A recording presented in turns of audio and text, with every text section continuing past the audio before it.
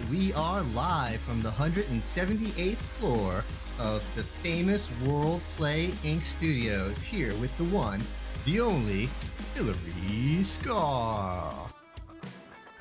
Hey, hey, hey, everyone! It's Tuesday, the best day of the week. We are hanging with Hilari and my dragon DD being chased by the magical David Maldow. But let's give him a proper welcome.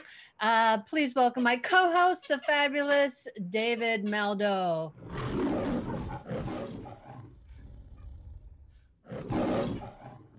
you gotta get, You gotta that get the second, second, one, one. in. You gotta get the It's- second one in. Critical. Where's our- critically important. Oh my gosh, everyone. Thank you. It's Tuesday. We're here. Tuesday. Happy Tuesday.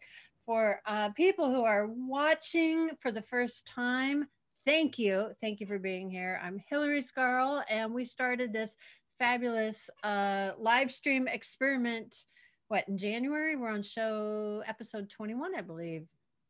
January of 1982 on episode 21,000. I think so. It feels like that sometimes, and yet David and I were talking right before the show that we are adding new things every single episode as we're still, um, you know, pretty new. But uh, we added some fun bells and whistles tonight, so you guys are really in for a treat. When something feels Uh, this right, it's hard to believe it's new. It, it feels like we've just been an institution. This is this is the the Johnny Carson of our millennia. It's true. And like they say, you know, if doing this show is wrong, I don't want to be right.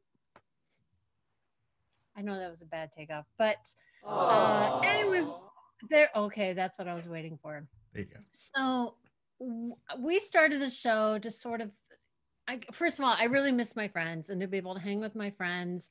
And I have, there's so many creative people that now through David's fabulous technology here, we can connect to anyone around the world and talk about the journey of being an artist, a creative process, the fact that, you know, these careers are not linear, that people have side jobs, people have side hustles, they have ups, they have downs, and we celebrate the wins, which is really fun. But we also talk about we get real here, and that's what I really appreciate is people just saying that it's even though we have some sparkly exteriors, that you know there's rough patches and bumps. That's my dog Charlie playing with her squeaky toy. So yeah, we're still gonna do a Charlie show We need a Charlie. stuff. and eventually. Um, and David, those legs are looking good on you. Yeah, I've been you know keeping keeping fit. Keeping fit. I- Uh, I didn't, you know, I, I dressed down today. I'm trying to be a little more casual. I usually wear a collared shirt, but that's so not me. I was doing it for this. I might go back to it, but I don't know. It, it, it went with the suit better, like the lower half of the, the body, but uh, it didn't have the logo. what does this one say? I You usually prefer. there will be an answer. Let it be. There will be an answer. I, I prefer. I prefer a t-shirt. I'm a t-shirt guy. I think. you are, and I think it suits you. This and is I think ridiculous to waste time on me when we have an amazing guest. This is insane. We do have an It's amazing insane guest. to be talking about me right now. Insane. Well, I do love talking about you because you're insanely fabulous. But you get two Hillarys for the price of one today uh, because we have our incredible, the fabulous, the effervescent Hilary Barraford. Please give her a warm welcome. Hi, hi, hi, hi, Hey, Hilary. Good to see hi, you. everybody watching and listening. She's here. I'm gonna um uh, I'm going to see if I can get my dog to stop squeaking for just a moment. Um, she's participating. She's very excited that you're here as well. I mean, I'm thrilled as well. I have a dog fan, you know, it's good. It's a good thing. Yeah. I mean, dogs are welcome. I mean, people know now people own cats, dogs, kids, uh, hamsters, whatever that appear on Zoom and on live streams. So I think it's part of the magic that we've Part of the discovered. It's part of the charm. So Part of being you're real back. person. What's that, David? Part of being a real person.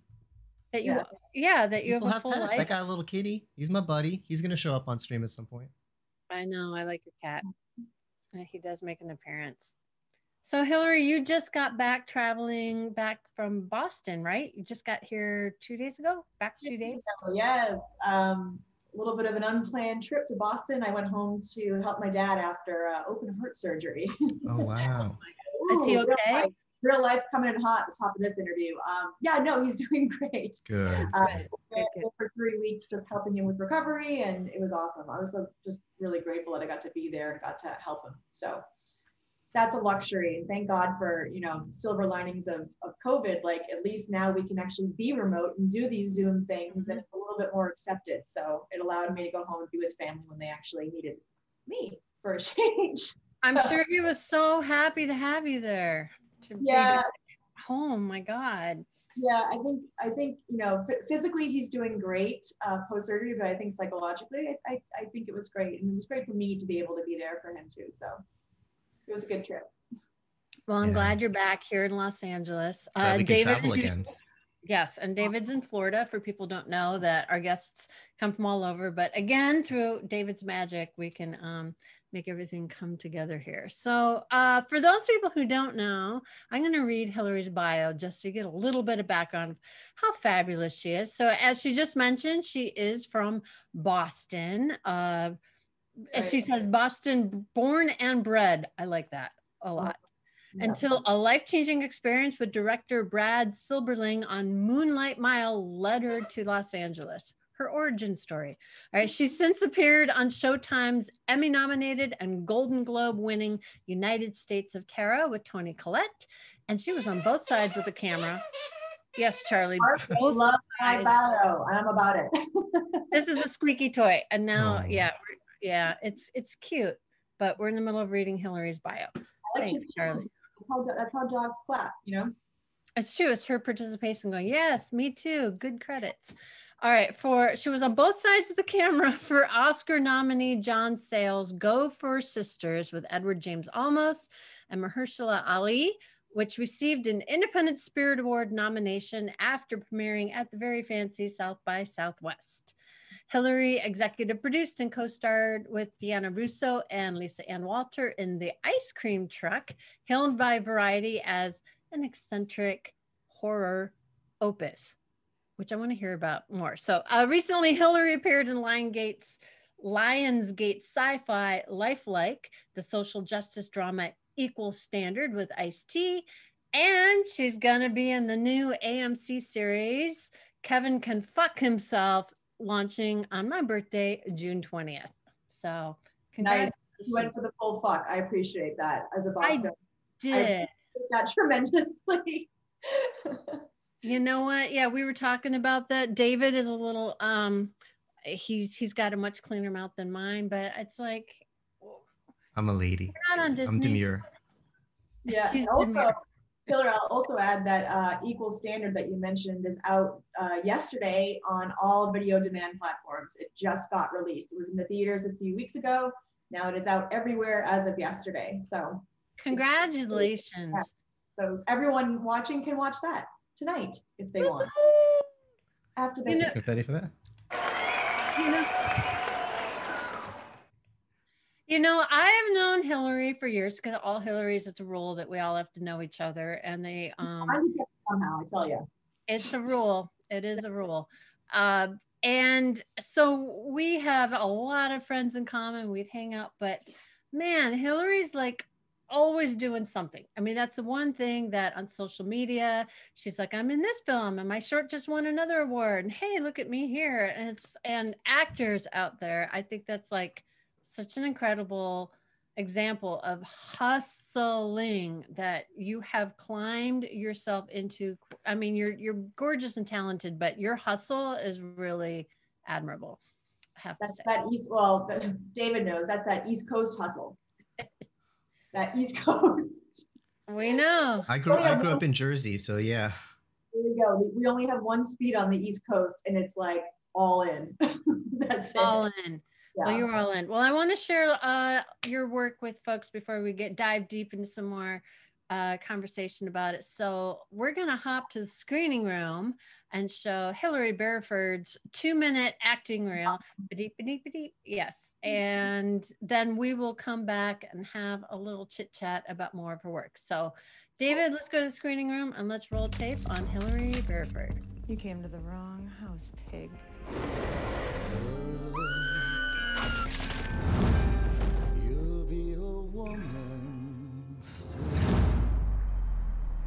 You'll be a woman soon. tried to get me to do things with him. You know that, right? Sure, He put his hand in my bathing suit. I know. I liked it. You miss your husband? Yeah. Well, if you ever had the desire to cheat, now would be the time to do it. I have a really good vibrator.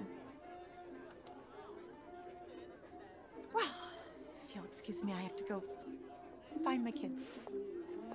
The eternal lesson that I sincerely hope is shining its wisdom upon you is that there are those who have to live and relive the horror of our impaired judgments, like a never ending game of pool. I could just drink coffee all day.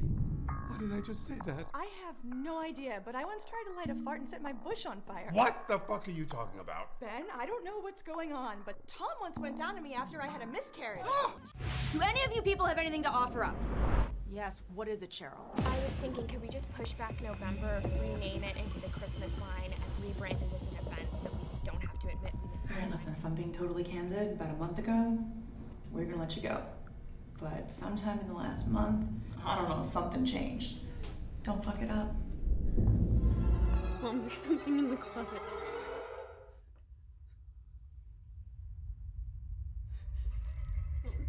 She said. There's nothing in the closet. Keep it shut. Love you so much, can't count all the ways I died for you, girl, and all they can say is he's not your kind. They never get tired of putting it down, and I never know when I come around what I'm gonna find. Don't let them up your mind.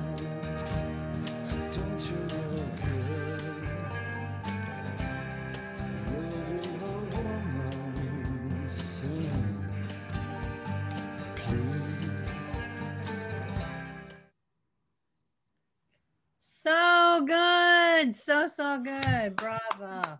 I'm doing a chair curtsy. I'm curious, how many times have you died on screen with all the horror films you've done? Um, what's weird is I don't often die on screen. I'm usually already dead.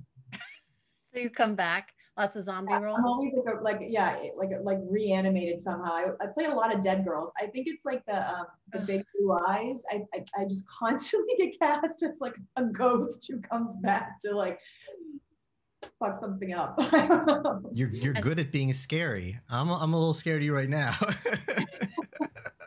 yeah. After watching it, it's like I I better not make her mad. Yeah, Creepy.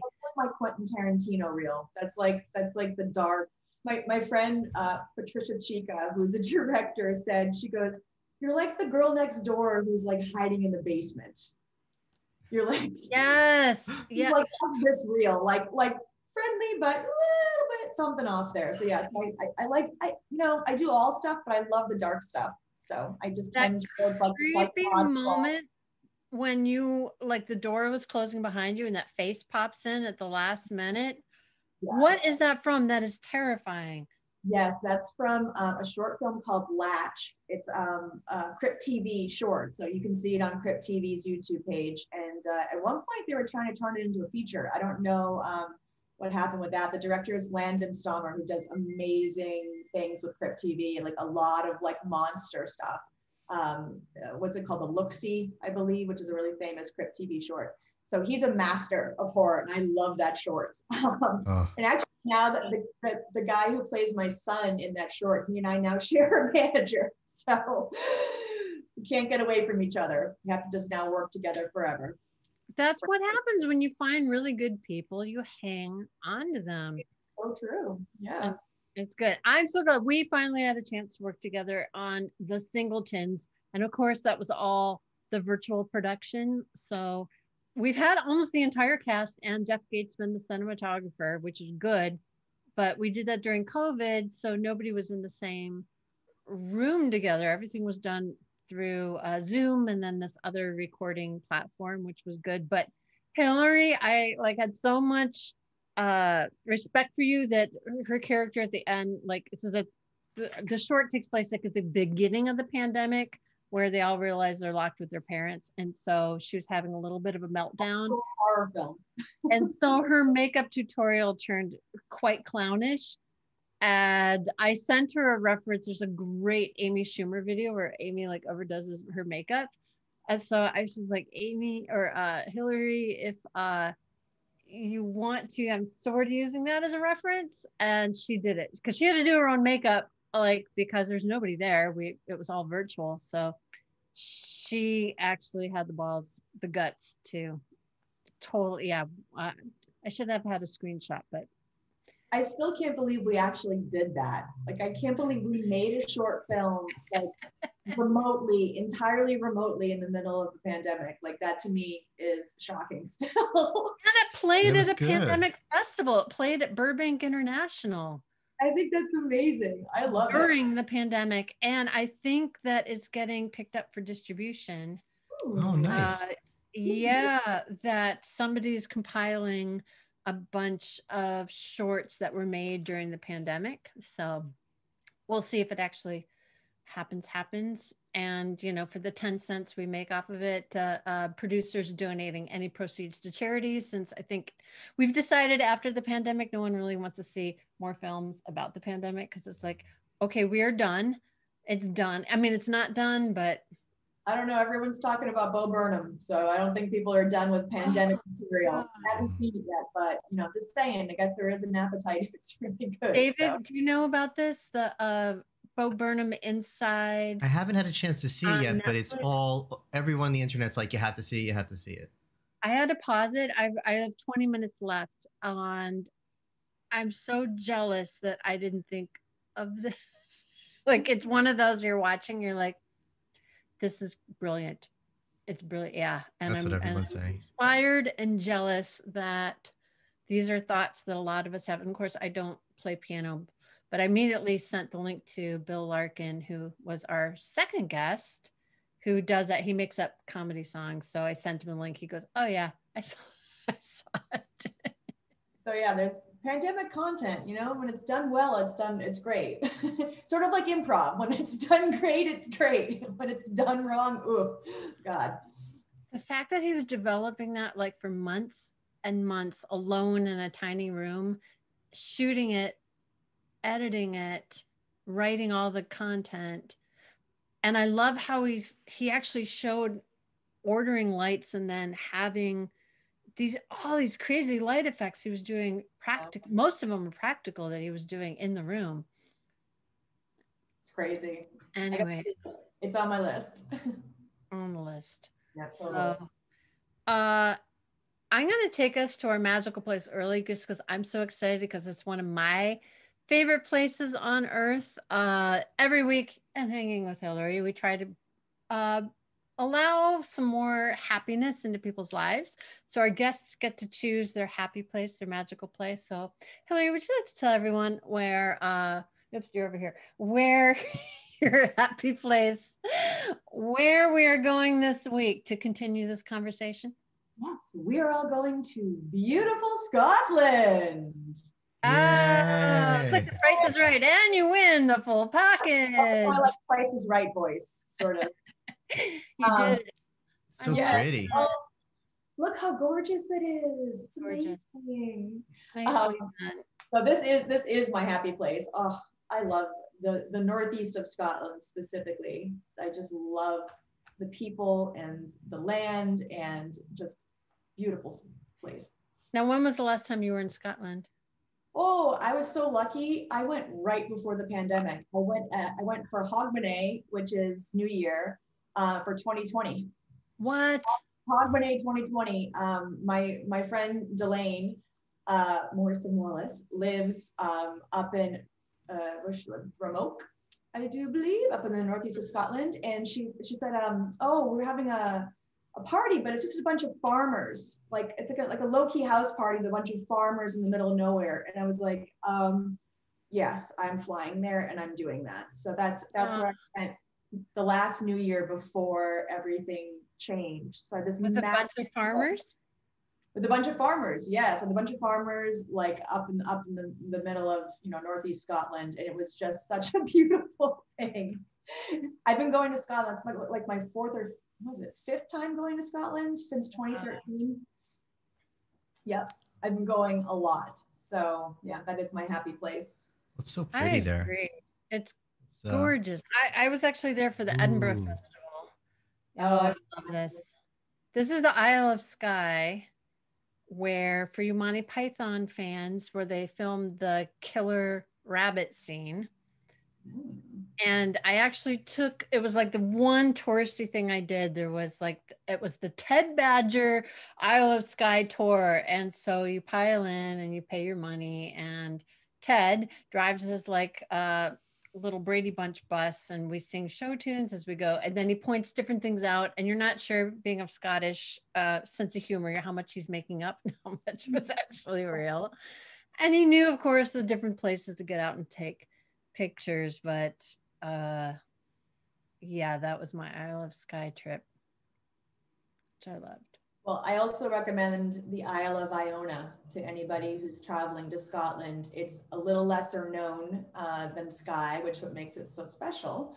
You have to travel across one island, uh, the Isle of Mull, I believe, to get to the Isle of Iona, and it's like maybe three, four miles wide, like the whole island. Hmm. Um, and my friend um, who grew up in Elgin had told me about it and said it was his happy place and his favorite place. So I was like, I have to go see this. So I spent a weekend there by myself, and it was the weekend that it was their golf tournament. And what they do is they literally clear the sheep off of the meadow, like right next to the water. And then the whole town and people fly in from all over the place and they come and play like in the sort of old fashioned sense of golf, like the true community version of golf. Mhm. And they have like, you know, cases of beer as prizes and like all that kind of stuff. So I got to see this like super special once a year, the, uh, the uh, Iona Open. but they were like literally like, get these sheep off of here. We got to move the sheep. We gotta make room. We gotta make room. I'm like, what? I'm like, this is incredible. Awesome. Best weekends I've ever had. Yeah. Now I like how they always mark the sheep. Like I remember driving, and that's like the best part is going through the countryside. But then you see a bunch of sheep with red butts and blue butts, and it's like, what is with spray painting your sheep? And they're like, well, that's so the farmers know which sheep are theirs. I guess if they commingle during the day, and uh, I did not know that that that's we put dog collars on our dogs. They paint blue blue balls on their sheep. So it was very strange. Boy. Oh, but it was good. Hey, David, take us to the castle. I Or the love castle? that. The castle. Oh, you mean where I belong? Where you belong. You're a princess in the castle. Would you have a reminds of- drawbridge though to protect from the ogres and the Oh, for sure I would. I did um the, when, when I was in Scotland the last time, I did tour a bunch of castles, including Dunnottar Castle, which is on the coast and is what one of the Game of Thrones castles, I believe, is based on. And then there's another little castle that's this like little pink confection of a cupcake. That's a castle, and it's just amazing. It's tall and skinny and bright pink naturally, like the What? stone. Yeah, pretty amazing. So That's so cool. what were you gonna say, David? It reminds you of Oh, you mentioned Monty Python before. You mentioned as particularly uh, the Holy Grail, the Holy Grail movie. Uh, that's what the, the the rabbit scene is from the Holy Grail movie, and this reminds me so much of that movie. Um, and I think it was well, a lot of it was filmed in Scotland. Yeah, they had the coconuts. You don't even have horses. You're just banking two coconuts together. No, we're not. I like, I like the torso the That's torso. for Monty Python. Yeah, when they're, they, they're just like Oh. the sword fighting and they chop off all the limbs and they're And the guy Oh, still right, wants to right, fight. right. It was just Yeah. a flesh wound. like, Yeah. Okay, we'll call it a draw. Oh, good old Monty Python. My God. Still holds Oh, up. The, the best sketch by far is the cheese sketch. There's, in my mind, there's no competition for the cheese. The sketch. cheese sketch. Have you ever seen the Monty Python cheese sketch in the cheese shop? Please remind me. Continue. Basically, they walk into the cheese shop and start ordering cheese, but they don't have any of the cheeses that Oh they ordered. and they run through literally every kind of cheese known to man. And they're like, "Oh, sorry, sir, event broke down this morning." You know, they have an excuse for why they don't have like each cheese. Any cheese in the cheese shop. And they start, you know, they ask for like Venezuelan beaver cheese. He's like, "Any Ve- Venezuelan beaver cheese?" He's like, Not as such, sir. We need There's to do a out of Monty. Python night. Yeah, I haven't seen Monty Python in so long, but it's interesting how those sketches just stay with you. Yeah. Like for me, it's just the dead, the point. the dead parrot. Yeah, the dead parrot sketch. It's just brilliant. The Where they nailed- absurdity. They nailed the yeah the feet. It's commitment. It's total commitment, and I respect it. John Cleese is total commitment. It's just, and I think that's the fun part. You just see how much fun they're having, and it's it's weird. I wonder if we're. I think we got away from that where people have to be so careful, and I mm. think it's now. I mean, because of social media, it's it's like, oh, is this going to be funny? Are my fans going to like it? Am I going to offend anyone? Where now, granted, I'm glad that we have progressed some through the comedy maturity stages, but I think we also there was there was just a lot of good comedy when before social media. There's still good comedy now. I don't know what I'm saying. Well, they, they took risks. You didn't. You don't take to like in in in uh, Holy Grail, that the same movie we're talking about. The credits are at the beginning, and then the movie just ends. You're not allowed to do that. I, I'm not from Hollywood. You people tell me, but that's against the rules, and they did it just because, right? Just because they wanted to. I'm sorry. You, you Well, guys- they I was gonna say though, in, in the singletons though, there's elements of Monty Python with like kind of how you rat, you know, ratchet that up the level of comedy. It's very kind of Monty Python-esque. And I, I think that's coming back. Like I, I have a short film called The Hit that's on the festival circuit now. Same thing, kind of sort of Monty Python-esque, like not afraid to go for like the big moment and the big, the big comedy and the over the top comedy. Um, so hopefully there's a return to that because I miss that. I do too. And it's when you're surprised and it's a twist and you actually find yourself really laughing out loud, that's that's the best because I think as you get older and you've seen more things and more sketches and and like you said it's like oh that's kind of like this or that's kind of like that but for someone to really twist something and to be like all right that's funny i love that Mm-hmm. Absolutely. Although the classics hold up, I I'm rewatching. It's a 2013 film called The Heat with Melissa McCarthy and Sandra Bullock. Oh my God, Melissa McCarthy! She made me laugh out loud so many times watching this goofy movie. Just and like half her stuff was improvised, and you just realize that she has always been so good and so on top of her game. And talk about commitment because i'm watching it i'm rewatching it now with the uh, director's commentary and it was like the second day of filming and she's a frustrated uh, boston cop so you appreciate that. So yeah and she's a mess and the sandra bullock character is like this buttoned up fbi agent. Of course they have to figure out how to work together when there's a case that's in boston. So uh yeah, immediately like she parks in too tight of a parking spot in the police station, someone's in her spot or whatever. She can't open the car doors because there's police cars that sandwiched her in on either side. So she did her own stunt of crawling through her window into the police car, like through the window and then out the passenger door. And uh, the director was like, Yeah, she did that herself. Same thing when she had it, she's chasing a, a criminal and like trying to and he jumps a chain link fence that she had so much adrenaline she actually climbed the whole thing and like you know went over and they said yeah we got a stunt double to show the stunt person landing on the other side but She's so brilliant at like, milking every moment. She milks everything, and her Oh physical comedy, like, her her uh, non-verbal comedy, I should say, is just like next level. Very few can can do what she does. and it's just dead on commitment. And all i'm thinking is how the hell is anyone keeping a straight face who's acting opposite? And i was watching the editing and you can tell that you could see sandra start to go or whoever it is and they they instantly cut away. And it's like i you just know. what's that? So which works for the character. Works with a carrot totally but i mean awesome. these these zingers that i i want to go and read the script now because i'm curious how much was in the script I bet a lot is improvised with her. It just, she just, just watching it. It just, even as an, an, you know, an outsider of the industry, I'm like, it just seems like it just, I don't know. It just seems hey like it's, it's a Kaylee lot barrett in the chat. Kaylee Thanks Barrett in the chat. here.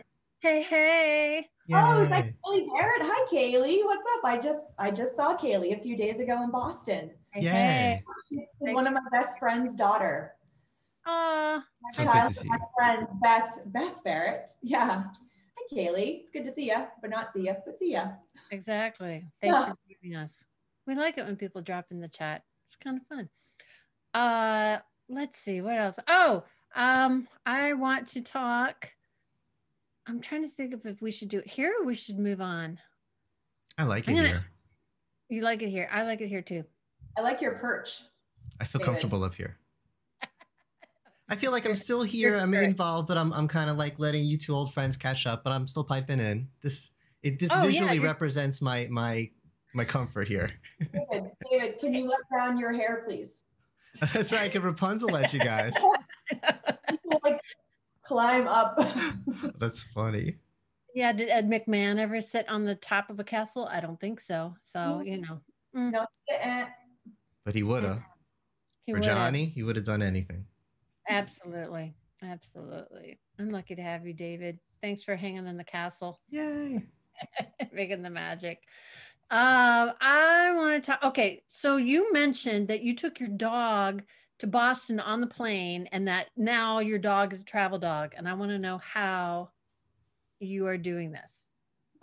this is very important information. Um, yes. She's my dog Della is my road dog now. Um, I didn't start traveling with her until the pandemic. Um, and since the beginning of the pandemic, I've crisscrossed the country now three times, which is kind of wild. Um, once for a job and once for a surgery and once just to get the heck out of Los Angeles. Um, so yeah, I, I decided last minute um, back in November when I was sh- flying to Boston to shoot Kevin Can Fuck Himself.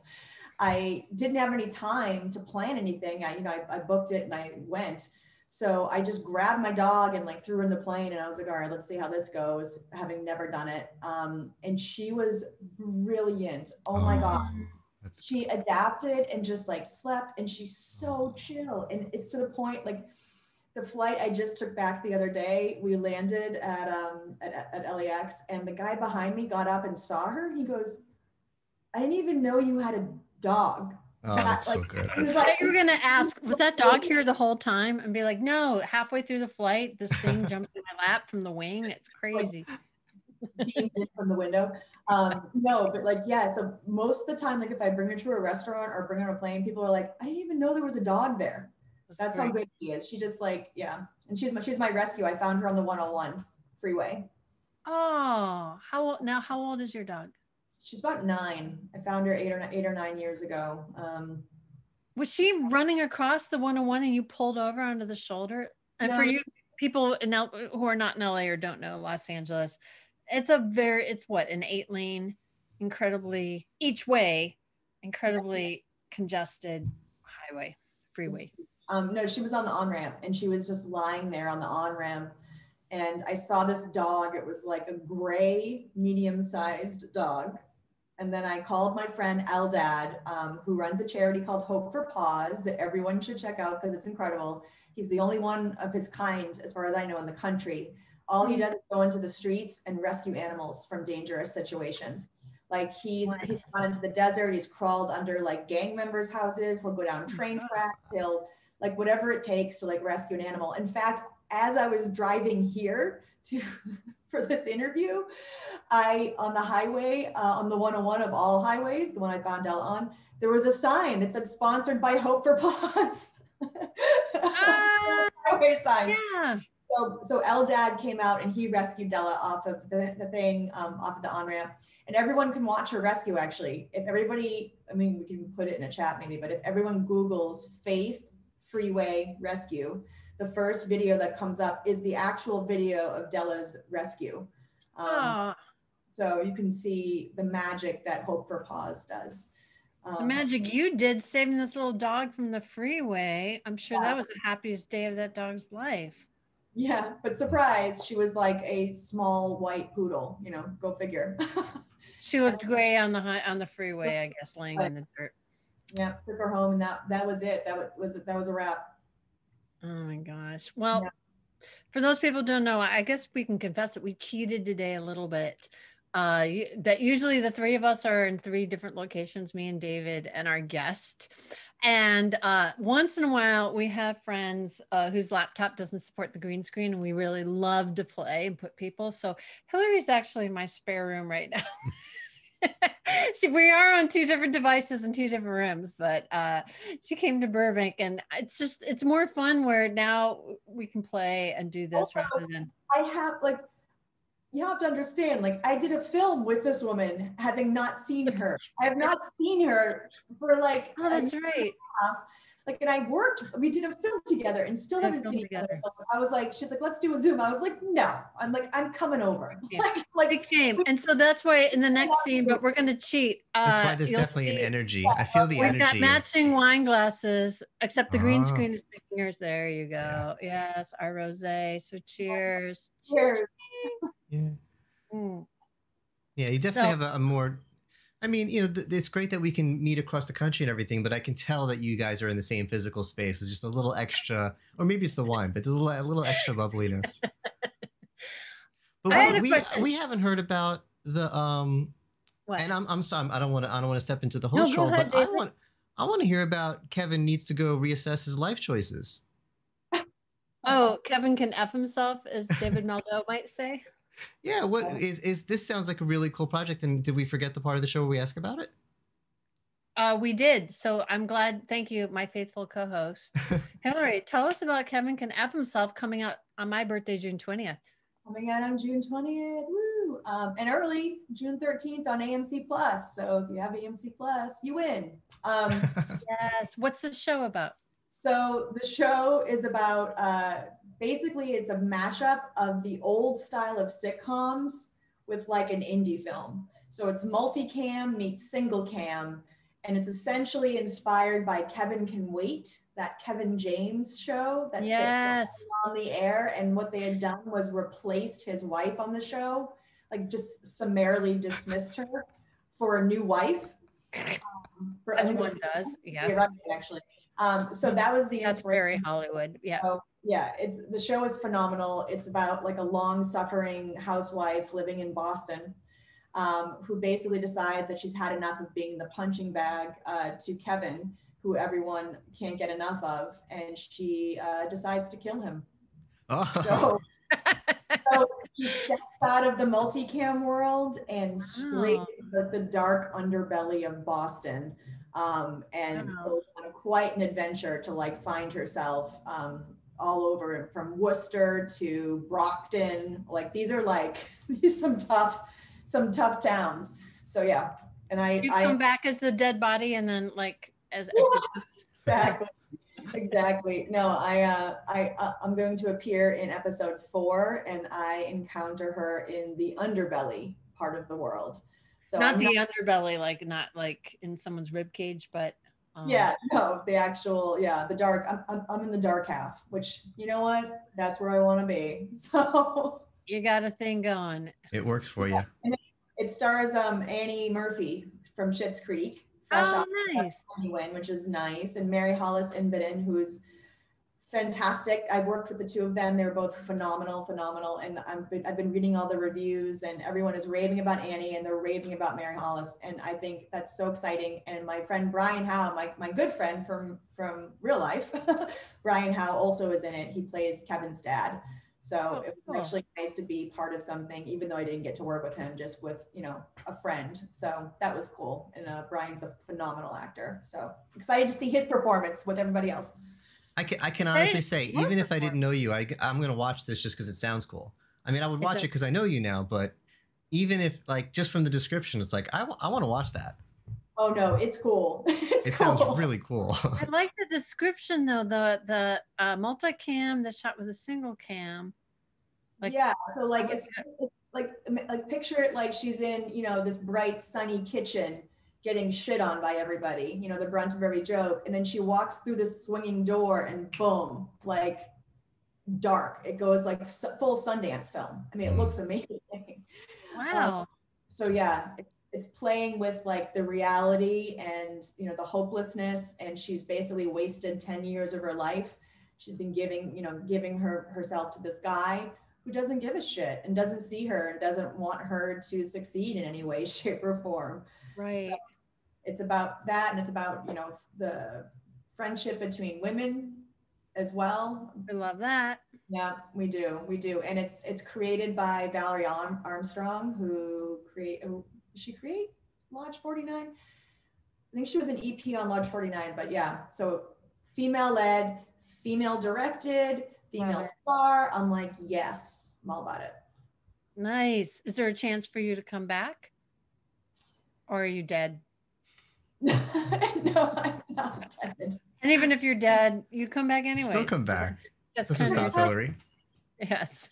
I always I always say never say never. You know, you don't you never know what these worlds will create, like who comes back randomly to have another little song and dance. But as, as it stands now, I'm I'm just in the, the one episode and just thrilled to be. So Yeah. Like I said, always working. Yeah, trying.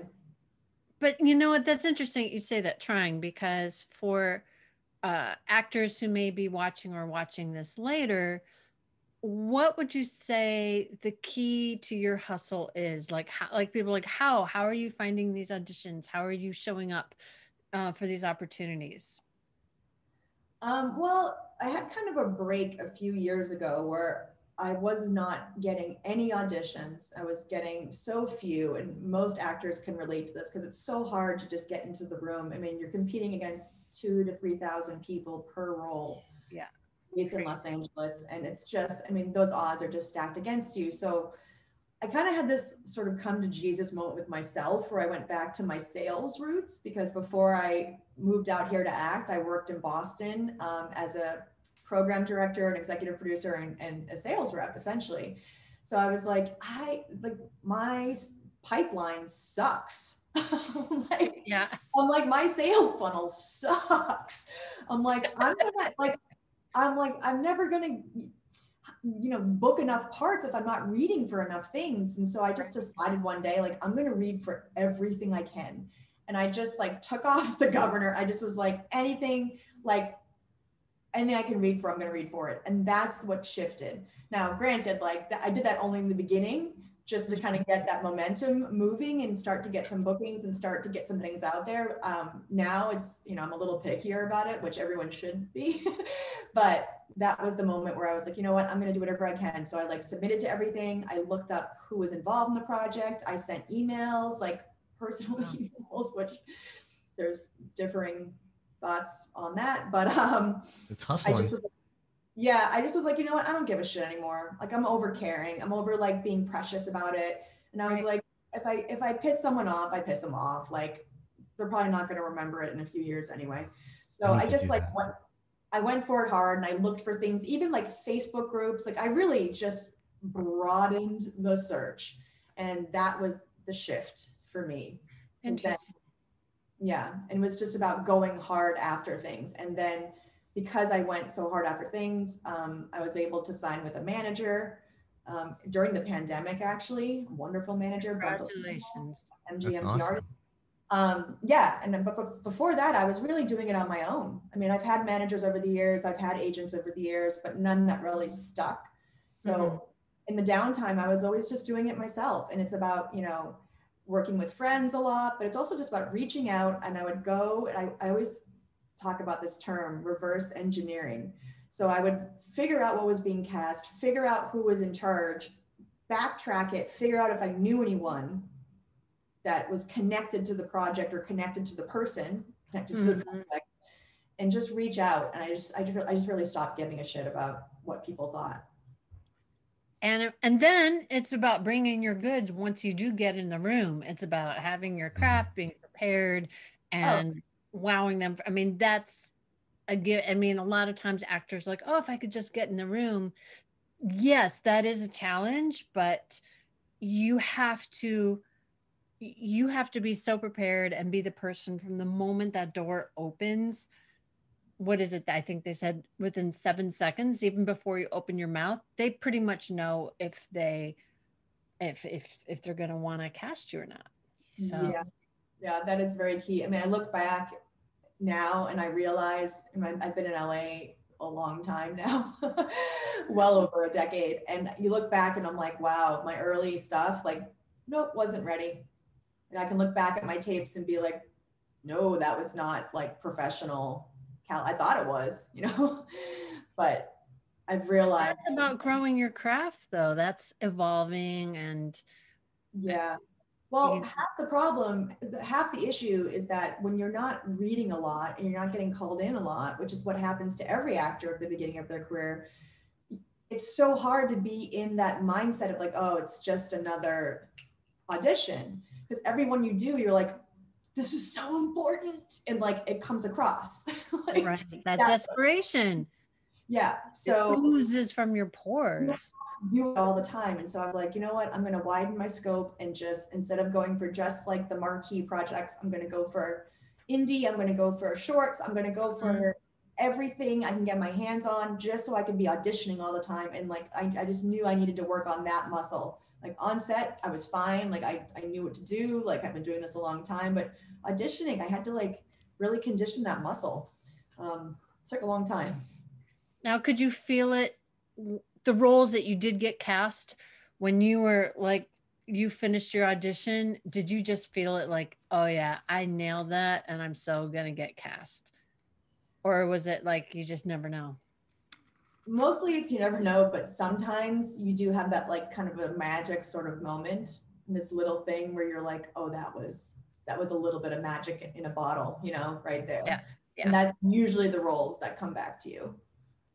But sometimes, like, I remember because I was an actor in my 20s and early 30s, that there were times where you're just like, you know, whatever. And then you get a call back, you're like, seriously? Like, that was, I was so off. Like, why? And then other ones where, they're laughing they're like oh my god i love you and you, know they're asking your availability in the room and you're like i so booked this and then like nothing and so it's like i don't even know anymore and i remember that was one of the most frustrating things about auditioning that you just i just never knew i couldn't Yeah. even trust my gut anymore I feel I always feel like the more you throw it away, those are always the ones that generate the most interest. The ones where you're like, whatever, like I don't know what that was. Everyone's like so interested in them.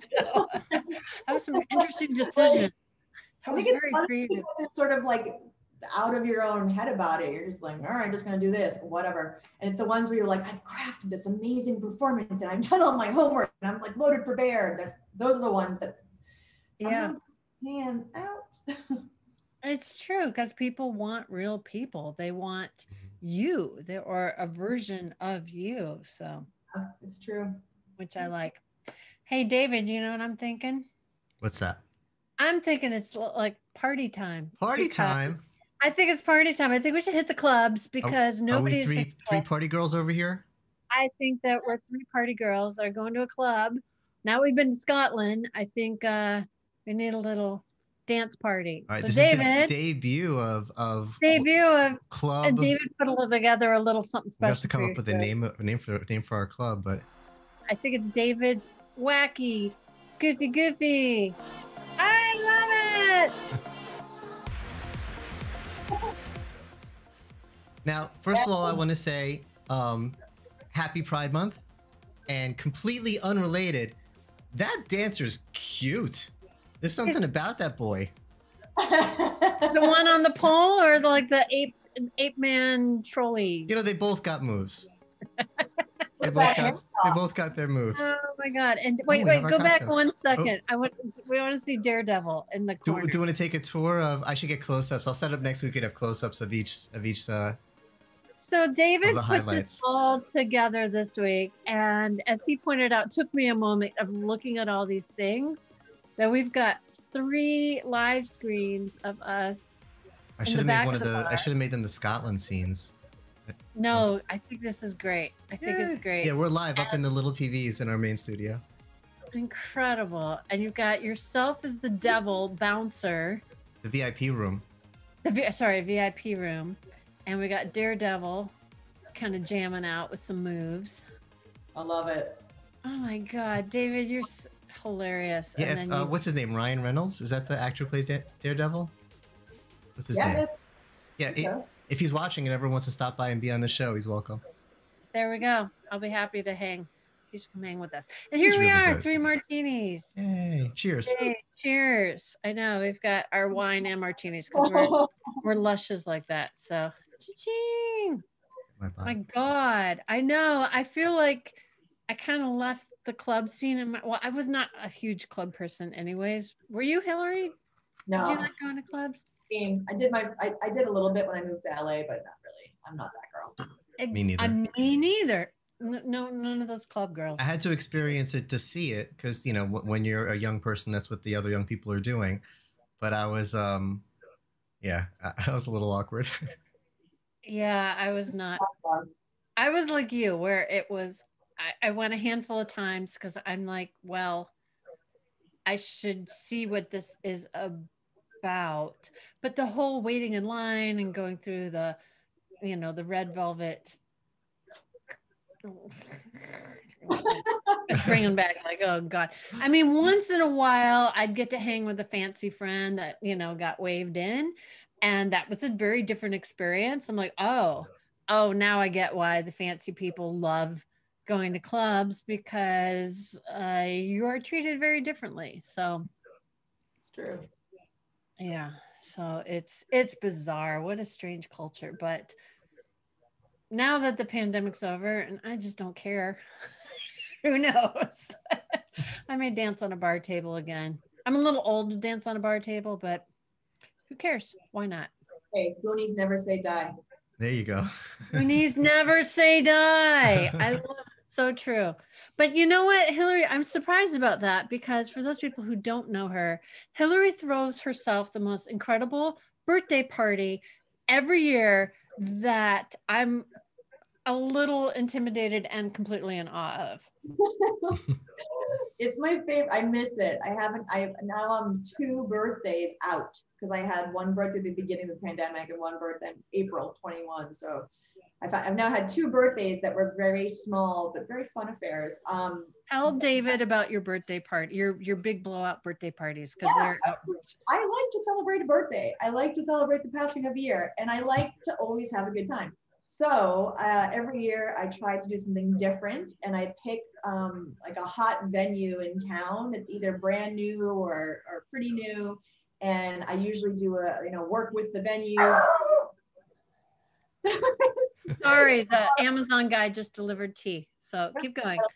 Um, so yeah, I throw I throw a, a, a huge birthday bash. I like my friends to all meet each other. I like all my worlds to collide. So it's this like for me, I love seeing all the different groups of people that I know, creative people that I know, all in one place and like all meeting each other and being like, oh my god, this is so great. Um, one of my favorite birthdays though, um, was it? Gosh, the year before um, last year was I brought a hundred people to the Laugh Factory on Sunset.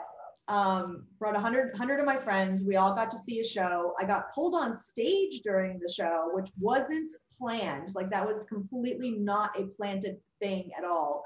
I got pulled on the stage to do all this like prop comedy for like five minutes, which was crazy to be on stage and have like literally a hundred of your friends cheering you on.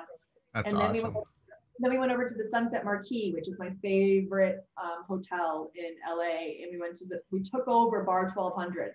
Like literally, the bar was filled with my entire world, and it was amazing. Oh my gosh, it was like my favorite birthday ever. So And you have the most incredible and beautiful friends ever. Like you walk into one of her parties and you're like, who are all these people? And Hilary, of course, always looks like just a knockout. She's got like the outfit and and she's got a groovy shoe boot collection and the hair. No, I mean it's like, are you kidding me? No, it's I do, I got do it all help going up to the occasion. I'm not gonna lie. I definitely have help. I definitely have friends that like help me pick out what to wear, and they help me do my hair and makeup. So it is it is a team effort. Um, but you got a squad, you got a glam squad. Had a glam squad for that night. But um, yeah, I like you know what I've always said. I like to collect people and not in a creepy basement way. Um, I, just, I, if I meet you once and we have like there's something there, I just Yeah. you're my friend forever, unless you really have to do me wrong. like, but if you do, I am Sicilian, and you know, don't cross me. yeah, I don't look it, but cross me and see what happens. Um, I I I see the stabby girl coming out. It's Yeah, like, um, I just yeah, I love people. I love people's stories. Like when I was traveling just in the last you know couple of weeks to Boston and back, I like picked up some new friends along the way. Like I love to like talk to people. So those parties are like everyone I know and anyone who's invited that party is someone I absolutely love. So it, is, it feels very large and it is large, but there are a lot more people I could invite, but don't. so Well, that's a tribute to you, Hilary, of showing truly how loved you are, and that it shows that you you care about people, and and it they are a festive occasion, and yeah, we need we need another. I love that kind of positivity. It, it's like like on Twitter, everyone's always complaining about stuff. Oh, the repair guy did the thing, and and my boss was mean about this and politics, blah blah blah. And the other day, I tweeted, "What's the deal with all of my friends being so ridiculously good looking? How are you people doing this?" And everybody tweeted back, and everyone was happy, and it was just out, out of nowhere. Just I love my friends, and I think you're all really good looking, and it was just. It was just it, it made my day. Their responses made my day. Well, David, you're a ray of sunshine, so I can totally get that. You have been so incredibly supportive and complimentary, so I, I Wow. get that. We're family now. This is this is us. Oh, I'm in the middle of this lovely Yay. fest. Ah, So cute. that's. Like, I love you guys. Yeah. Wait, I, wait. I, could- oh, I could fix that so you go behind us. Like this. Can I give you rabbit ears? Ah. Ah. yeah, somebody's got to be in front. Oh my gosh. Oh, the last thing we were going to talk about on my list, uh, and we didn't even need a list because I could just talk to you all day. Uh, that Hillary and I are both on Clubhouse, and uh, we set up this fabulous room of Hillary's. The entire room was filled with all Hillary's. And Hilary Barraford was the one who came up with the idea of the name of the room. And because we all spell it differently, of Hillary, Hillary, Hillary, like Tony, Tony, Tony. Right. And we got so many props for that because we've got one L, we got double L's, we got me with an I, and and I think we had an IE. I think so. We had Hillary Levi, who used to work at Crunchyroll. We um, had Hillary. We had the two of us. Um, then we had a couple of Hillarys that we didn't know, but we just grabbed them and said, "Hey, you're a Hillary. Come join us." Oh, that's Hillary started like wandering into the room. They're like, what's going on in here? Because it's like you go on stage and all you see is like a whole panel of all- everyone's profile of Hillary. yeah, it's great. but It's most of us were in entertainment, so we were able to talk, shot, you know, film, and it's we had fun. We're gonna do that. We're gonna have to do that again. We have to. We have to do it. And it's and it happened so organically because I jumped on Clubhouse and had no idea what was going on. And people started talking. It's very disorienting when you join Clubhouse because you don't expect your friends to suddenly be in your ear talking to you out of nowhere. And I Right. remember you and I were talking, and there was a Hillary that wandered into the room. It's, Hillary, it's Levi. It was double L. I call her double L. Um, And we were like, "Wow, look at all these Hillarys!" And then we're like, "We should do a room." Like it was so That's right. That's right. It happened very organically. so good. It really. And like that's And she much got a new job, by the way, which uh, she's posted on social media. So I'm not telling tales out of school. She is now a new uh, literary manager, repping writers in genre and animation. So, Wow. yeah. Well, if you're out there listening, So, yeah, we had a little celebratory yesterday. Uh, June 7th, 2021 was her first day of work. So she was celebrating in a little, it was like martinis after work room. And so she was, had a bunch of friends in that we're all wishing her congratulations because it was one of those things that, you know, during the pandemic, Mhm.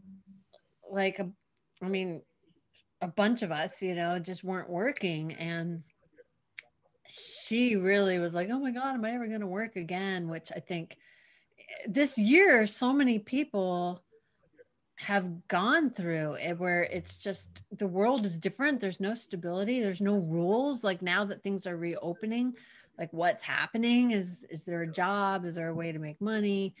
And so the fact that not only did she land a job, but she landed a plum job that she's going to absolutely kill it. So it's gonna yeah, be well, that- there's definitely been like some cracks and some openings to have some pretty great things happen alongside some pretty shitty things.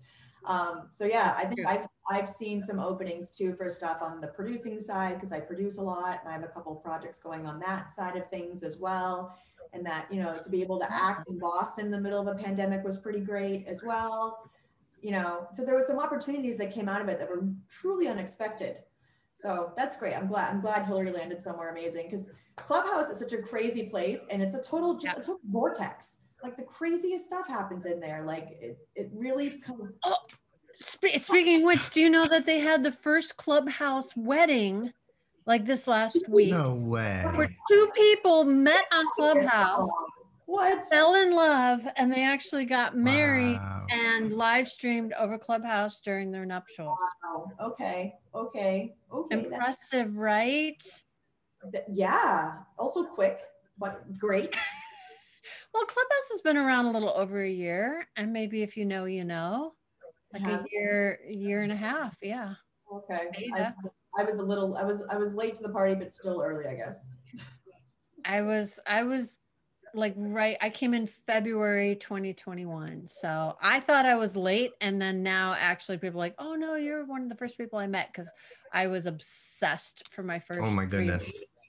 I wouldn't shut up about. I mean, I get- still talk about it a lot, but I have backed way off. And so yeah, now that I'm like, "Oh, I need to get my own projects going on instead of trying to network and which I love to do. I, you know, I, I think it kind of was the salve I needed for my social connection and talking to people, which for me was fantastic because I missed that.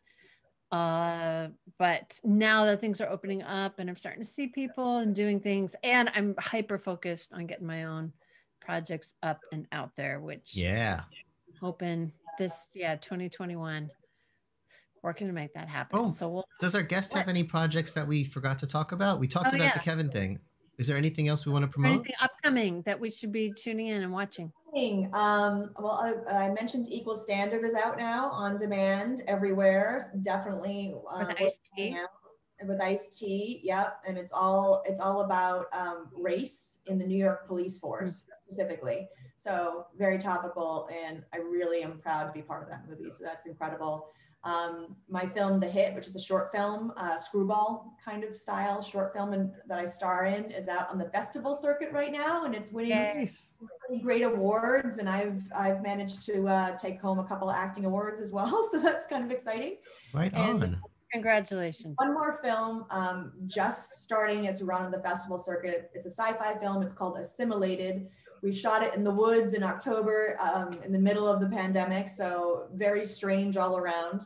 And that one is called um, Assimilated. It's just about to hit the festival circuit next month, so Wow. definitely worth checking out too, because a lot of these festivals are still online. So just Yeah. because you go in person doesn't mean you can't tune in and watch. So check those out.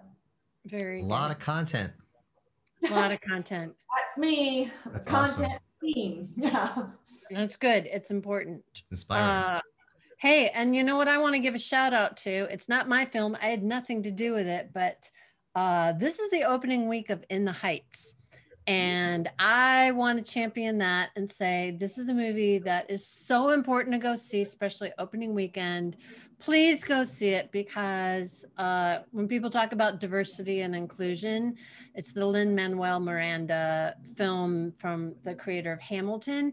And the Latinx community is beside themselves with excitement to see themselves represented. And we need to see more content like this. So please, please buy a ticket. If you don't want to go to the movies, buy a ticket anyways and gift it to somebody else. But uh, getting these box office numbers opening weekend is critical. So I'm throwing That. By the a way, Lin. Lin Manuel, if you're watching, if you ever need a Oh. um a stunt double. That's right. I've been told you do. I'm not quite. I mean, he's gorgeous. I'm not quite as good looking, but I think with the right lighting, we can make it work. We can make it work. Not So gonna okay. waste my shot. And then waste my- How's the rap? Can you rap? I'm, I'm working on it. I can play one of their songs on the bass. But I like that you I'm changed. it. I'm not gonna. Th- I'm not gonna. Uh. Oh, now you got me. Did I, I messed up the I'm lyric? not gonna throw away my shot, but I like. I'm not gonna waste my shot. Oh yeah, yeah. See, because you're kind of Lin Manuel personalized it. Light. Yeah, you personalized it. You made it your own, which I think is incredibly important. He's such Well- a genius. Oh my god. Such a genius. So go see In the Heights. Go see Hilary's show and watch Kevin Can Fuck Himself. That's coming out on June 20th. So uh, let's head on back to our talk show set. Thanks for the martinis, David. I'm picking up that tab. Where's our music? I know. Where's our music? Oh wait, wait, wait. Uh, We're waiting. how do I We got go? this. But Hillary, thank you so much for being on the There we show. Go. Yay! Yay! We got our crowd back. They followed us from the bar. Audience. Woo! Thank you so much. You guys, if you like the show, if you made it this far, please subscribe and you can share the link to your friends. Next week, we're going to be back with the fabulous uh, John Savage, who's going to be here, and our interpreter, Julie Pond, will be back. So please tune in. And other than that, we will see you next Tuesday. But uh, I need to call my dragon Dee Dee and uh, head off into the sunset. So thank you all for being here. Thanks This for hanging so much with fun me. this week. So Thanks for hanging, Thank you, everyone. Hilary, thanks for hanging.